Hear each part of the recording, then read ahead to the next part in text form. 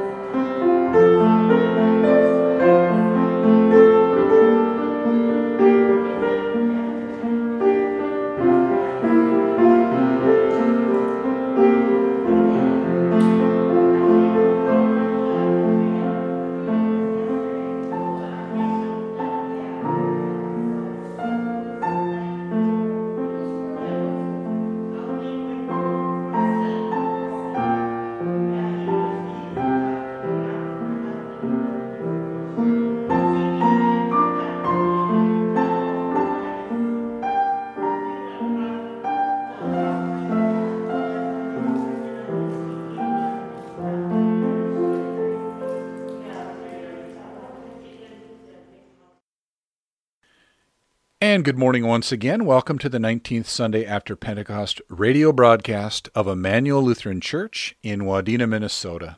Today's radio broadcast is sponsored by Chris Olson in honor of all of those affected by this global pandemic, but especially the young people.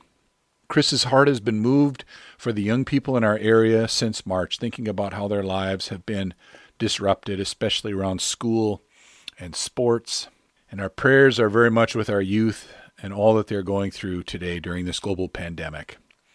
Thank you, Chris, for thinking of our young people and for your sponsorship, making this radio ministry possible today. Today in our readings, Jesus tells a parable about a wedding banquet and a special garment and uses the story to tell us something about the kingdom of God. And we will unpack that parable a little later in our radio hour together. Just a couple of announcements. If you are interested in connecting with us in person, you are welcome to be part of our Sunday morning sanctuary services. We are recommending that you attend one to two times a month, but we are not putting any formal limits on your attendance. You know what will work best for you. And so join us on Sunday mornings at 8:30 in our sanctuary. But we are asking for you to pre-register to help us better prepare to safely host you. And so you can pre register for our Sunday morning sanctuary services by calling the church office 631 2738, or you can visit wadenaimmanuel.org to register online. And of course, there's lots of other ways for you to connect with us and to one another through worship. You can watch those very same sanctuary services live on Facebook at 8:30 every Sunday morning. And we will continue to offer this full hour of radio worship together at 9:30 each and every week on KWAD 920 AM. We are hoping for at least one more parking lot service in three weeks, November 1st, which is All Saints Sunday at 10 a.m. That'll probably be the end of our parking lot services till it warms up again in the spring. But you can also be part of house church. You can form a small group, and we will give you the resources that you need to cluster up with one or two other households on a monthly basis and share worship together in your homes. So, wherever you're connecting, remember that the church is more than a building, that we are followers of Christ wherever God meets us and wherever God sends us. So be sure to check out wadenaimmanuel.org this week where you can stay connected, find links for all the stuff I've talked about this morning and more. Visit wadenaimmanuel.org. Our music today was recorded at last Sunday's sanctuary service. We're grateful for Mary Snorick and Tom Colden for their music today. Our opening hymn is number 719 in your ELW hymnals, Where Cross the Crowded Ways of Life. ELW number 719.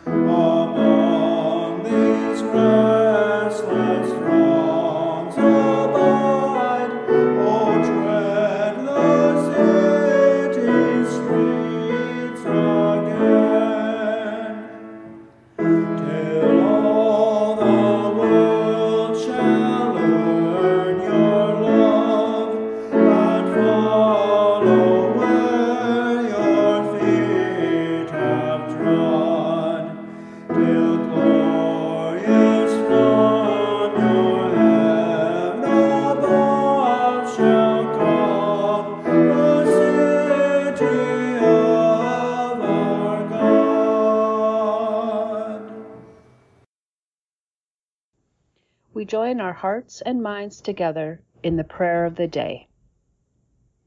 Lord of the feast, you have prepared a table before all people and poured out your life with abundance. Call us again to your banquet. Strengthen us by what is honorable, just, and pure, and transform us into a people of righteousness and peace through Jesus Christ, our Savior and Lord. Amen. Our special music this morning was recorded last September by our Sanctuary Choir. Please enjoy their singing of Sovereign Land, today's special music.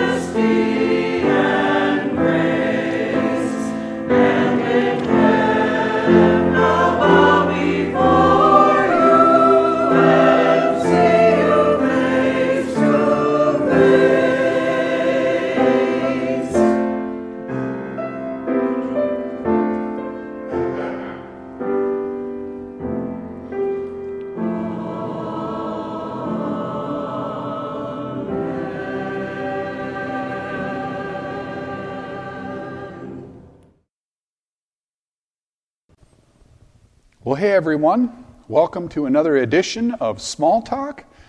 And I've got my friend Princess Pigley with me today. How are you, Princess Pigley? Well, for the most part, I'm so good. But I gotta know how do I look? Well, Princess Pigley, you look you look fine. What do you ask? Why why do you ask? Well, I don't want to look fine. I want to look so good. I heard that today Jesus is telling a story about a big party that we're invited to. And I want to look so good. Well, you're right, Princess Pigley. That is the story that we're hearing today. But uh, I, I want us to think differently about how it is that we show up looking so good. It's not about how we need to dress up in our own clothes to look good. Oh, you mean I'm supposed to borrow someone else's clothes? Well, kind of. I, I think that, that we're going to hear today about the clothing of Jesus Christ, about how we can wear Jesus Christ. Uh, what now? Well, I guess what I'm saying is that when we're baptized, we get this wonderful garment to wear. Not literally, of course, not, a, not an actual piece of clothing that we wear, but it means that when God looks at us, he doesn't see us so much as he sees his son Jesus. Oh, so to God, I look like Jesus? Yeah. His holiness, his blamelessness, his goodness, his faithfulness, it's all yours by faith. Ah, so does that mean when I wear Jesus like that, that I look so good? It does, Princess Pigley. In fact, when God looks at you, he sees his son and he says, There's my beloved child, and I love her no matter what. And she always looks so good. That's right, Princess Pigley. So thanks for being here today, and thanks for helping us remember that when we are baptized, we put on Christ. And thanks to all of you for joining us today. We'll see you next time. Our first reading on this 19th Sunday after Pentecost is from the book of Isaiah, chapter 25, verses 1 through 9. I am reading from the New Revised Standard Version translation. O Lord, you are my God. I will exalt you, I will praise your name, for you have done wonderful things, plans formed of old, faithful and sure. For you have made the city a heap, the fortified city a ruin. The palace of aliens is a city no more, it will never be rebuilt. Therefore, strong peoples will glorify you, cities of ruthless nations will fear you. For you have been a refuge to the poor, a refuge to the needy in their distress, a shelter from the rainstorm, and a shade from the heat. When the blast of the ruthless was like a winter rainstorm, the noise of aliens will heat in a dry place. You subdued the heat with the shade of clouds. The song of the ruthless was stilled. On this mountain the Lord of hosts will make for all peoples a feast of rich food, a feast of well aged wines, of rich food filled with marrow, of well aged wines strained clear. And he will destroy on this mountain the shroud that is cast over all peoples, the sheet that is spread over all nations. He will swallow up death forever. Then the Lord God will wipe away the tears from all faces and the disgrace of his people he will take away from all the earth. For the Lord has spoken. It will be said on that day, Lo, this is our God. We have waited for him so that he might save us. This is the Lord for whom we have waited. Let us be glad and rejoice in his salvation. Word of God, Word of life. Thanks be to God. Our psalm today is Psalm 23. If you have a hymnal at home, please find Psalm 23 in the front of your hymnals preceding the hymn section and read the indented sections with me. Psalm 23 The Lord is my shepherd, I shall not be in want. The Lord makes me lie down in green pastures and leads me beside still waters. You restore my soul, O Lord, and guide me along right pathways for your name's sake. Though I walk through the valley of the shadow of death, I shall fear no evil, for you are with me. Your rod and your staff, they comfort me. You prepare a table before me in the presence of my enemies. You anoint my head with oil, and my cup is running over. Surely goodness and mercy shall follow me all the days of my life, and I will dwell in the house of the Lord forever. Our second reading this morning is from Philippians chapter 4, verses 1 through 9. Again, I am reading from the New Revised Standard Version translation. Therefore, my brothers and sisters, whom I love and long for, my joy and crown, stand firm in the Lord in this way, my beloved.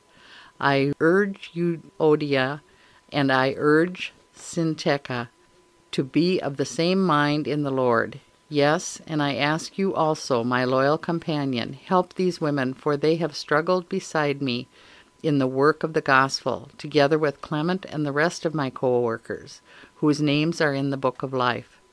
Rejoice in the Lord always. Again I will say, Rejoice. Let your gentleness be known to everyone.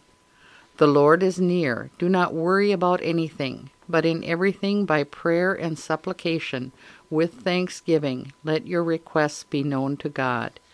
And the peace of God, which passes all understanding, will guard your hearts and your minds in Christ Jesus. Finally, beloved, whatever is true, whatever is honorable, whatever is just, whatever is pure, whatever is pleasing, whatever is commendable, if there is any excellence, and if there is anything worthy of praise, think about these things.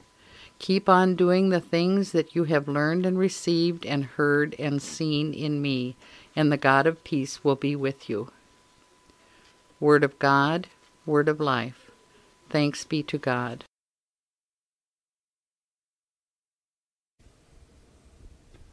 Dear friends in Christ, grace and peace to you from God our Father and our Lord and Savior Jesus the Christ. Amen. Hey, uh, do you remember weddings? Nowadays, we get a little skittish about weddings, uh, and perhaps especially big weddings, and rightfully so. Big weddings are the perfect place for COVID 19 to spread. Lots of people from lots of places sharing hugs and handshakes, food and fellowship, laughter, maybe dancing. Such an event has super spreader written all over it. But remember about seven months ago when that wasn't the case? Remember when weddings were just huge, fun celebrations of love and family and the gathering of our, our best hopes and dreams for a couple just getting started in their life together? I know it's hard to remember. I can hardly remember it either, but if you try hard, I bet you can. And that's, that's the image I want you to hold on to today the, wedding, the way that weddings used to be and one day will be again. You know, these, these must attend events, important cultural, familial, even spiritual celebrations of love and blessing. And how, when you're invited to such a special event, you most certainly will proudly attend. Because in our gospel reading today from Matthew chapter 22, Jesus tells a parable about this very thing an extravagant wedding party thrown by the king for his son. And Jesus uses the parable to tell us more about the kingdom of heaven. Listen as I read from Matthew chapter 22, verses 1 through 7. Once again, Jesus spoke to them in parables, saying, The kingdom of heaven may be compared to a king who gave a wedding banquet for his son. He sent his slaves to call those who had been invited to the wedding banquet, but they would not come. Again, he sent other slaves, saying, Tell those who have been invited, Look, I have prepared my dinner. My oxen and my fat calves have been slaughtered, and everything is ready. Come to the wedding banquet. But they made light of it and went away, one to his farm, another to his business, while the rest seized his slaves, maltreated them, and killed them. The king was enraged. He sent his troops, destroyed those murderers, and burned their city. What is Jesus saying here? The kingdom of heaven is like a wedding feast that nobody who was invited bothered to attend. They were too busy, too important. Some are even downright indignant. Even more, some of the invitees actually killed the slave sent to summon them. This was way more than poor taste and bad manners here. These are people to whom the king said, You are important enough to me and my kingdom that I invite you to celebrate with me and my family this most important event. To be invited to such a banquet signified that these people mattered. And they threw it all away. So the king actually sends his army and destroys them and their city. One absurd action for another. Remember, this didn't actually happen. This is just a parable that Jesus tells. But in this story, one absurd action is exchanged for another. These people took their status in the kingdom and threw it away, just as so many hear about their significance in the kingdom of heaven and cast it aside for the empty treasures of this earth. Too busy, too important, too costly. So the king responded with something equally absurd. He destroyed them, destroyed their city. They acted like the king and his kingdom didn't matter, and the king responds in kind. But the parable, interestingly, goes on and continues to teach us about the kingdom of heaven. Reading on in Matthew 22, this time verses 8 through 10. Jesus continues, Then he sent, then the king said to his slaves, The wedding is ready but those invited were not worthy. Go therefore into the main streets and invite everyone you find to the wedding banquet. Those slaves went out into the streets and gathered all whom they found, both good and bad. So the wedding hall was filled with guests. So, as Jesus continues to tell this story, a remarkable turn of events takes place. If those invited cannot be bothered to attend, the king will send his servants into the streets to gather anyone they could find. Note this, both good and bad. And the wedding hall was filled. It was filled. It was, it was filled with some seedy characters. It had to be. The, the parable says both good and bad. But the, but the wedding banquet hall was filled nonetheless. And apparently, We'll find out a little later in the story. Each one of them was given a robe. Now, I'm not sure what these robes looked like, but they must have been nice, right? They, they were, after all, intended for some pretty important guests. I'm imagining them, right? Fine, quality stitching, good fabric, right? Flowing, excessive, extravagant, the perfect gown for guests of the king at his son's wedding banquet. Imagine what it must have been like for this scurvy lot that was just dragged off the street to put those things on, right? Just common, ordinary, perhaps even what society would call indecent people in the, in the king's court, wearing clothes so luxurious and expensive, right? Each one of them must not only have felt amazing, but probably a little self conscious, a little bit out of place. As they ate the richest of foods, they drank the finest of wines. They were probably all just kind of waiting to be discovered by the king. Hey, hey, hey, hey, hey, who invited this guy? Who invited this loser? Huh? They could just imagine the king coming up to them, exposing them in front of the whole group, right? And then throwing them out. But Jesus does something surprising in this story, as usual. In the parable, it's not the adulterer, the thief, the divorcee, the prostitute, who's called out and humiliated, even though such people no doubt were in attendance at this party. As we finish the reading here this morning, pay attention to who is called out. Jesus continues in verses 11 through 14. He says, But when the king came in to see the guests, he noticed a man there who was not wearing a wedding robe. And he said to him, Friend, how did you get in here without a wedding robe? And he was speechless. Then the king said to the attendants, Bind him hand and foot and throw him into the outer darkness, where there will be weeping and gnashing of teeth. For many are called, but few are chosen. Did you catch it? The one who's exposed, scandalized, and humiliated is simply this the one not wearing the wedding robe. The whole room is full of people who are unworthy to be at such a fine party, and they all know it. But in only condemning the one without the robe, the king makes it clear that the rest of them are, in fact, right where they belong, right where they've been invited and called to be. Hmm? And so they cinch up their robes good and tight, and they enjoy the rest of the evening with confidence in the graciousness of this king. Right? Now, you might object, hey, whoa, whoa, whoa, let's back up and talk about this guy that got pitched out on his ear. That's no way to teach.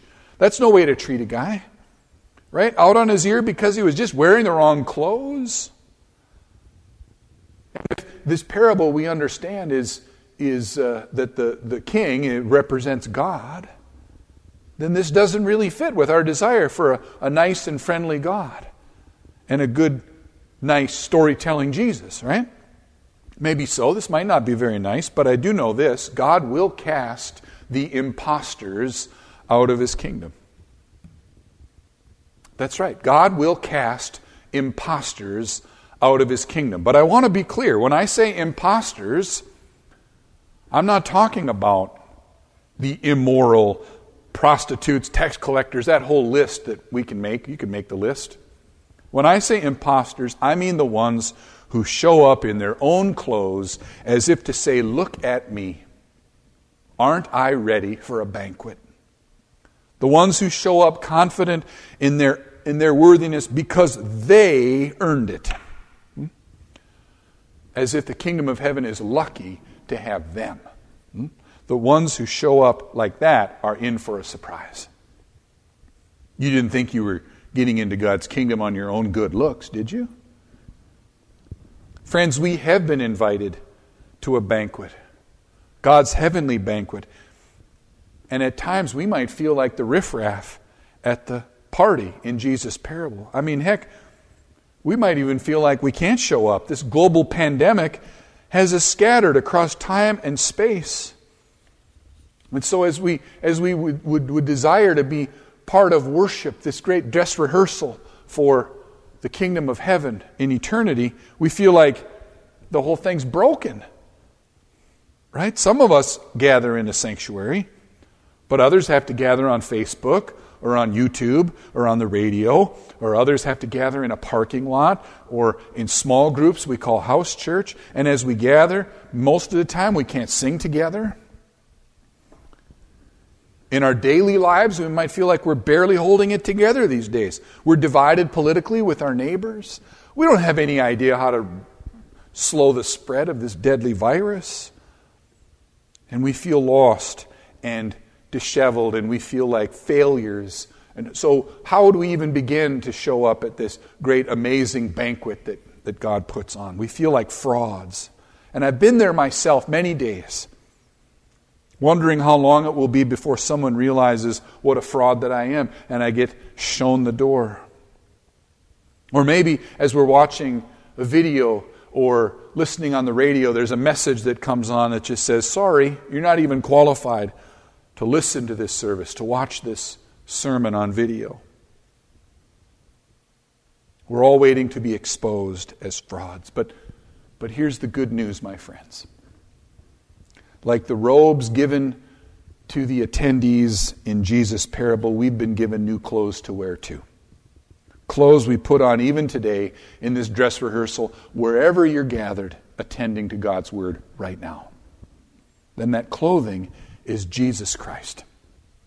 It's my absolute favorite verse about the clothing of Christ. Galatians chapter 3. As many of you as were baptized into Christ have clothed yourselves in Christ. Right? You've, you've heard me. If you've heard me preach for more than a few years, you've heard me prattle on about this verse before, but I cannot resist talking about it again. It's just one of my favorites. Baptism gifts us with the clothing that is Christ Himself. And it's a great verse, and it's a great set of clothes, right? This is the wedding robe given to us by God Himself. We put on the garment of Jesus Christ. No matter how out of place we might feel, no matter how dislodged from community we might feel because of this global pandemic, no matter how much we might feel like failures and imposters, this clothing makes it right. Right? We might gather wherever we gather, feeling like our shortcomings and our frailties and our foolishness and our sin define who we are, but they do not. God will not walk up and show us the door because we who have been baptized have clothed ourselves with Christ. Right? When we wear that gracious gown, we can stand in God's presence with confidence, knowing that we are right where we belong. Now, I know that some people might prefer other garments. Some might prefer to show up in a garment made of their own credentials, their own accomplishments, their own status, their own holiness, their own importance. But as I listen to Jesus today, I got to say, I don't recommend showing up in those clothes. I don't recommend skipping the banquet either, right? Find some way, shape, or form to attend, virtually, in person, however. But gather in the presence of God, confident in your status and who you are. Forget about the other clothes, forget about those other commitments and excuses. You've got a wedding feast to be, far, to be you've got a wedding feast to be part of and new clothes besides, right? Beautiful, extravagant, luxurious clothes stitched together with the blood of Christ, lined with grace and forgiveness and newness of life. Come, one and all, to the heavenly banquet. Again, no matter how you come, in person, on Facebook, via YouTube, on the radio, come and gather around God's Word. Gather at this banquet, which begins right now Right? It might not look like much of a banquet now, the way we've gathered, but it is God's banquet. Gather. Right? The, the, the, banquet begins now and will work up to its fullness in the kingdom that is yet to come. Come, young and old, come rich and poor, come healthy and sick, come broken and lost, condemned and ashamed. Put on the wedding garment, which is Christ Himself. Come and be covered with His love and grace and stand before God as a new being in Jesus Christ. When you put on Christ, you are invincible, my friends. Neither death, nor troubles, nor sorrows, nor anything this world can dish out, including a global virus, can prevail. Neither with the errors and poor judgment of your past. The wedding garment covers all. And so put on Christ and live confidently as a child of God, a child of this merciful God who wants nothing more than this that you would live your earthly days confident in his abiding presence, and that each day brings you closer to your eternity with him and his son at the wedding feast. This feast that has no end. So put on Christ and let the peace of God, which surpasses all understanding, guard your hearts and your minds in Christ Jesus. Amen.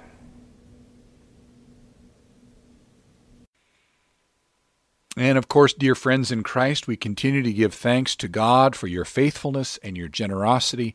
Your financial gifts make our ministry possible, whether that's ministry that's happening here on the radio, on Facebook Live, in our sanctuary, through house church, and through other ways. Your gifts make it possible. You can continue to send your gifts to P.O. Box 69 in Wadena, Minnesota. You can drop your gifts off at the church and you can visit wadenaimmanuel.org to explore electronic giving options. Our service continues with hymn number 800 in your ELW hymnals, Spirit of God, Descend Upon My Heart, ELW number 800.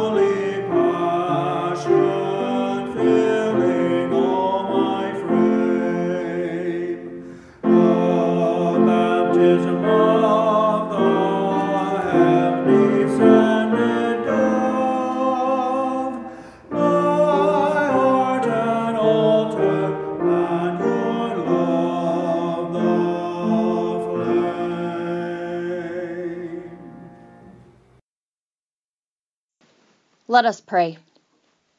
Blessed are you, O God, maker of all things. Through your goodness, you have blessed us with these gifts ourselves, our time, and our possessions. Use us and what we have gathered in feeding the world with your love, through the one who gave himself for us, Jesus Christ, our Savior and Lord. Amen. Together we confess our faith using the words of the Apostles' Creed. I believe in God the Father Almighty, creator of heaven and earth. I believe in Jesus Christ, God's only Son, our Lord, who was conceived by the Holy Spirit, born of the Virgin Mary, suffered under Pontius Pilate, was crucified, died, and was buried. He descended to the dead. On the third day he rose again he ascended into heaven. He is seated at the right hand of the Father, and he will come to judge the living and the dead. I believe in the Holy Spirit, the holy Catholic Church, the communion of saints, the forgiveness of sins, the resurrection of the body, and the life everlasting. Amen. Let us join together to pray for the whole people of God in Christ Jesus and for all people according to their needs. God of tenderness, we pray for a world crying out to feel safe, to feel seen, to feel loved and cherished. Send us your Spirit to help those battling depression and mental illness and for the loved ones supporting them on their journey. May the gifts of the Holy Spirit guide them so that your presence may be seen in a new light and that they may feel the warmth of being wrapped in the arms of your love. Lord, in your mercy. God of radical love, give us the courage to believe in the plans you have for us and the strength to not give up on each other. In these challenging times, send your Holy Spirit to be our strength as we dismantle hate and work to heal the wounds that fear and hate create. Give us the courage to speak your love everywhere we go and to everyone we meet. Lord, in your mercy. God of comfort, be with those who are sick, hospitalized, or terminally ill. We pray especially today for Sherry Anderson, Charles Carlson, Mary Lee Coates, Edna Honeycutt, Gary Johnson, Rick Johnson, Peggy Lewine, Jerry Ullman, Diana Olson, Craig Reese, Dorothy Teal, Dennis Teedy, Heather Beldo, Gary Burnt, Joan Clark, Jerome Fisher, Doreen Johnson, Robert Kiffey, Kia Nurberg, Jean Tolukson, Betty Wiederick, Dick Wood, Eugene Wood, and Dolores Yorick. Bring healing, love, and hope into the lives of these we have named aloud, as well as those we carry with us in our hearts. Lord, in your mercy. God of life and death, be with those who are dying and those grieving the loss of a loved one. Bring hope and peace, especially to the friends and family of Caleb Hagan, to Donna Christine and family in the death of Donna's husband, Leroy Christine, and to Joe and Lois Hallerman and family in the death of Joe's son, Michael Hallerman. Give us hope in the resurrection of the dead and life everlasting in the name of your Son. Lord, in your mercy. God of strength, continue to give wisdom and courage to our leaders, local leaders, state leaders, national and world leaders too. Strengthen them in the difficult task of leading in these treacherous days. May they all be led by your wisdom and strength as they work for the greater good while protecting our most vulnerable. Lord, in your mercy. God of protection, strengthen teachers, medical workers, firefighters, first responders, and those who serve in our military. Bless and keep, O Lord, Max Labar, James Close, Victor Barbado, Joel Bertelson, Sean Evans, Joel Holwiger, Samantha Holwiger, Carson Jennings, John Close, Eric Neely, and Jacob Radabo. Give all who serve courage to work with grace and integrity. Lord, in your mercy. Into your hands, O Lord, we commend all for whom we pray, trusting that when we forget, you do not forget. We give these prayers of our congregation to you, Heavenly Father, in the name of Jesus Christ, who reigns with you and the Holy Spirit, now and forever. Amen. The peace of the Lord be with you always. Please take a moment now to share peace with those gathered in the room with you, or take this time to reach out to those you are connected to electronically and call or text or snap or email them and share a word of peace with those gathered with you in spirit this morning.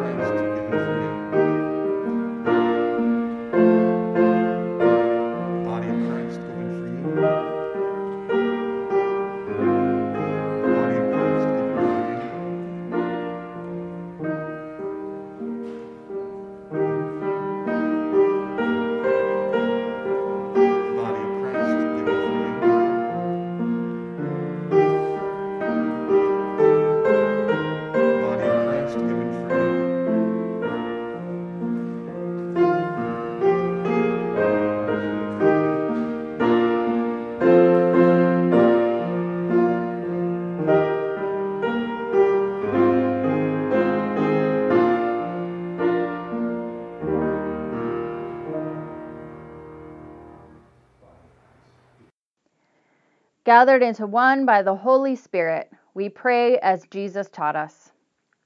Our Father, who art in heaven, hallowed be thy name. Thy kingdom come, thy will be done, on earth as it is in heaven. Give us this day our daily bread, and forgive us our trespasses, as we forgive those who trespass against us. And lead us not into temptation, but deliver us from evil. For thine is the kingdom, and the power, and the glory, forever and ever. Amen. The Lord bless you and keep you. The Lord's face shine on you with grace and mercy. The Lord look upon you with favor and give you peace. Amen. Please enjoy our closing hymn, ELW number 767. Lord, take my hand and lead me. ELW number 767.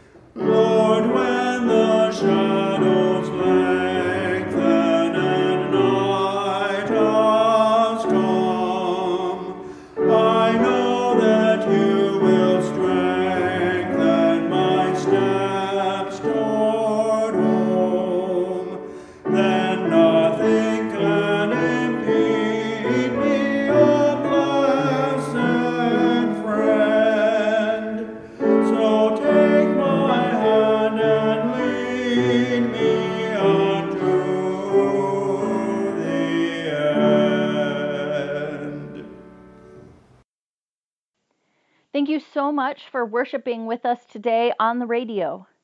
Join us every Sunday at 9:30 a.m. right here on KWAD 920 a.m. for a full hour of worship. Or you can be supported in faith through our digital offerings on YouTube and Facebook. You can also worship with us in our sanctuary and in our parking lot.